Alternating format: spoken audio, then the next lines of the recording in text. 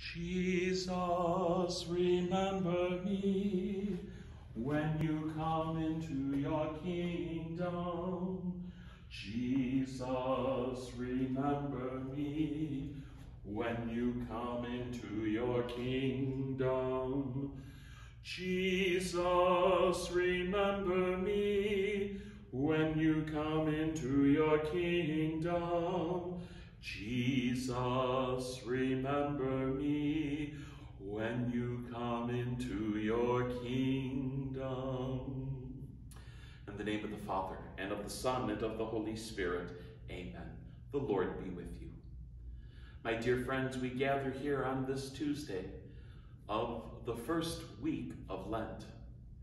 We gather here today, once again, seeking God's mercy so that we can change our lives and we can return back to Him, so that from the ashes we have received, we may rise and rise into the fire of Pentecost. As we gather here with grateful hearts, acknowledging our sins, let us cry out for mercy. Kyrie eleison, Kyrie eleison, Christe eleison, Christe eleison, Kyrie eleison. Excuse me. Kyrie eleison. Let us pray.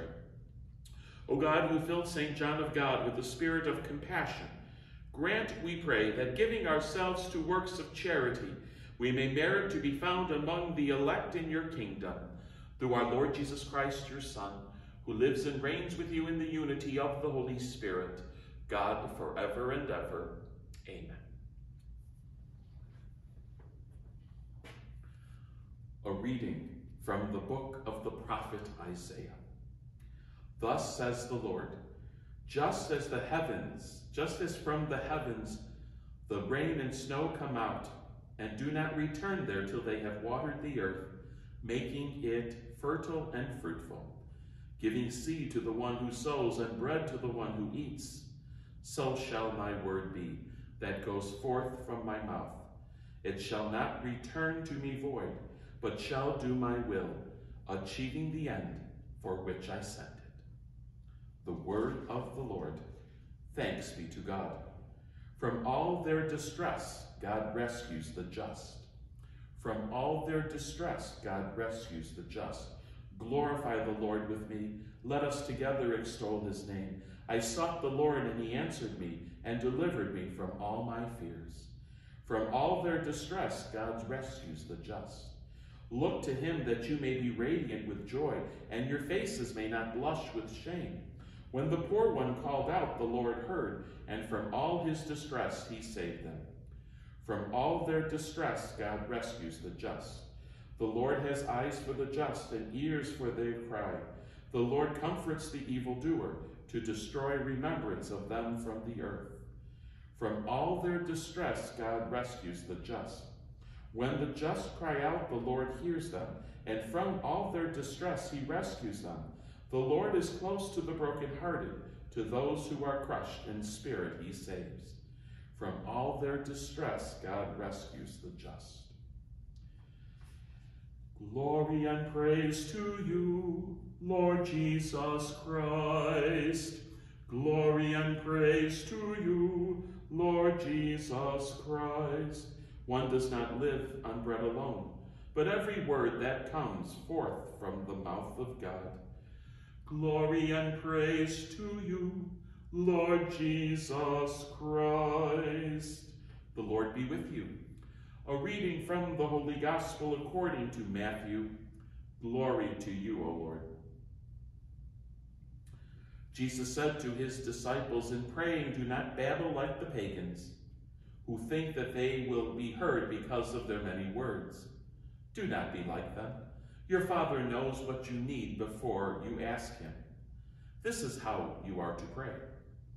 Our Father, who art in heaven, hallowed be thy name. Thy kingdom come, thy will be done, on earth as it is in heaven. Give us this day our daily bread, and forgive us our trespasses, as we forgive those who trespass against us. And lead us not into temptation, but deliver us from evil. If you forgive men their transgressions, your heavenly Father will forgive you. But if you do not forgive men, neither will your Father forgive your transgressions. My brothers and sisters, the gospel of the Lord. Praise to you, Lord Jesus Christ.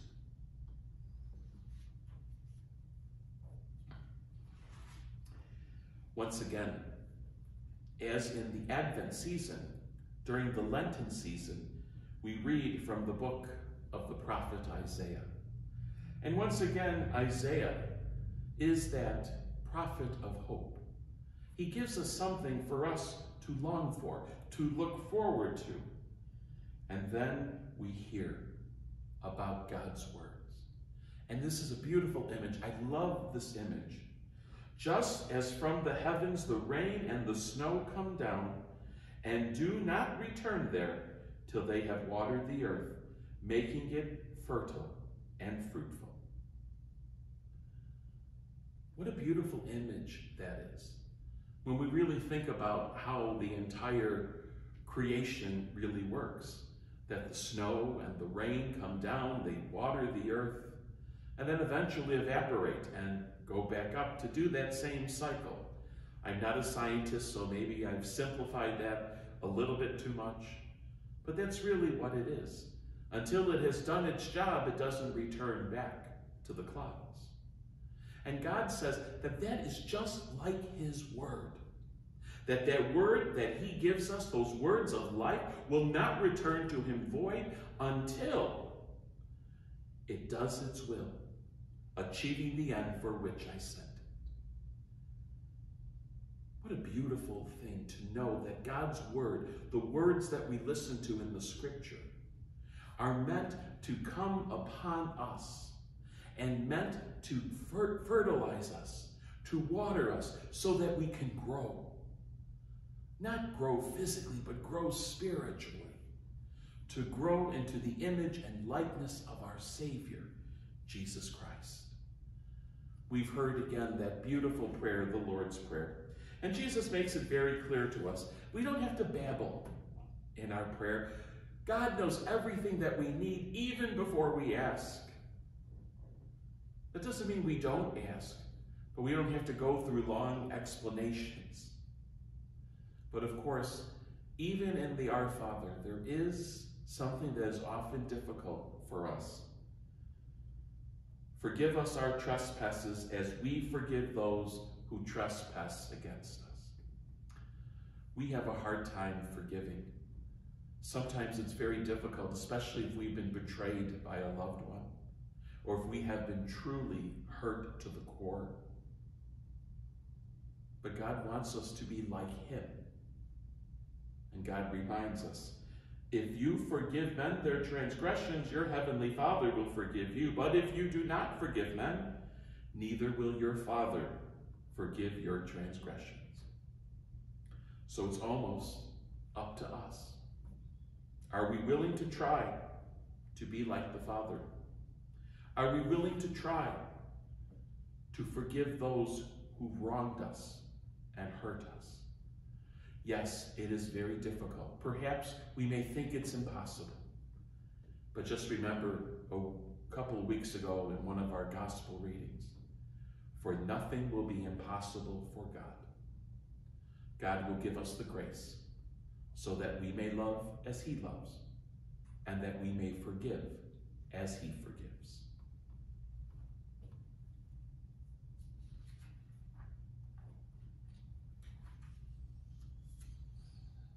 Mindful of the power of our words, we lift up words of prayer to God, who always hears us. For the church, may she be always strengthened by the Holy Spirit to proclaim God's word boldly and beautifully. We pray to the Lord. Lord, hear our prayer. For those in public office, may the Lord grant them hearts of compassion and strength of will to protect human life from the moment of conception to natural death, we pray to the Lord. Lord, hear our prayer. We pray for a peaceful solution to this conflict in the Ukraine. We pray for those refugees, those who are seeking safety and shelter. We pray for the conversion of hearts of their attackers. We pray to the Lord. Lord, hear our prayer. For those who struggle to understand God's will in their lives, may the light of God illuminate their journey. We pray to the Lord. Lord, hear our prayer. For the sick and the suffering, the lonely, the oppressed, may they know the healing touch of Christ. We pray to the Lord. Lord, hear our prayer.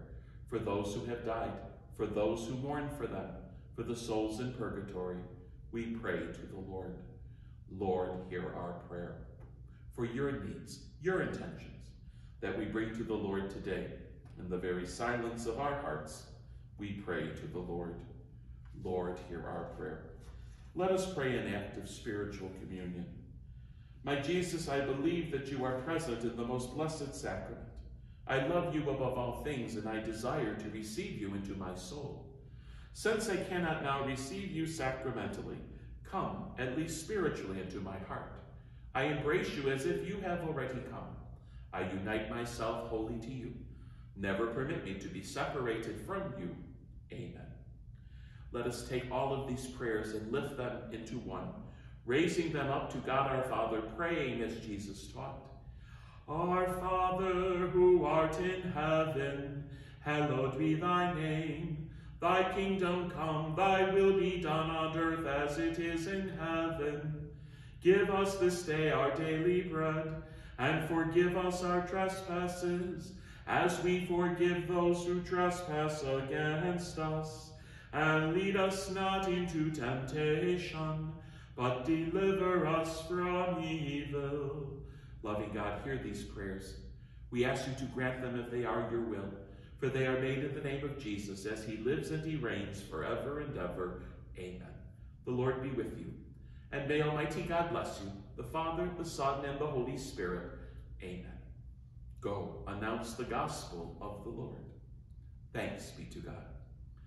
Come back to me with all your heart. Don't let fear keep us apart.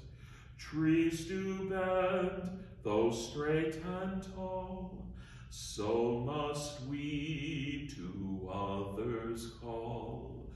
Long have I waited for your coming home to me and living deeply our new life.